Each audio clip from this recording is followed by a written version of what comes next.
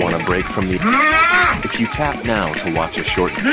You'll receive 30 minutes of...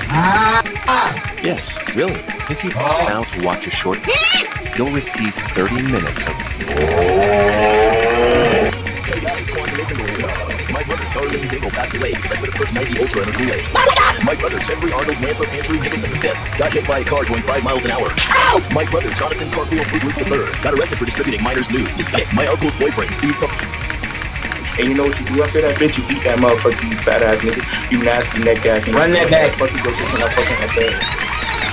Because that joke is horrible, nigga. Open your mouth. No way. Speak to me, No way, I just your channel, FC that. they do today.